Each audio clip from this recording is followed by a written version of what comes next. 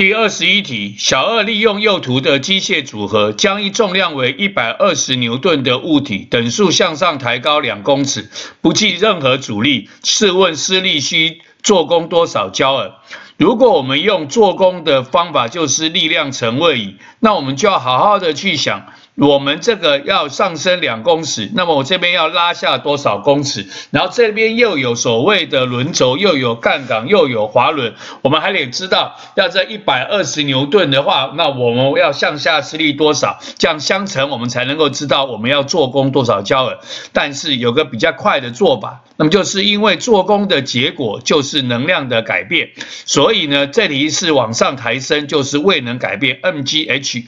那么 ng 呢，就是把把我们的质量用公斤再乘以加速度，这单位就是牛顿，也就是这边的一百二十牛顿。然后我要才升两公尺，所以呢，我的位能增加了两百四十焦耳，也就是我的施力至少要做功两百四十焦耳。因此，第二十一题问我们说，试问施力 F 需要做功多少焦耳？那我们答案选的是猪二四零。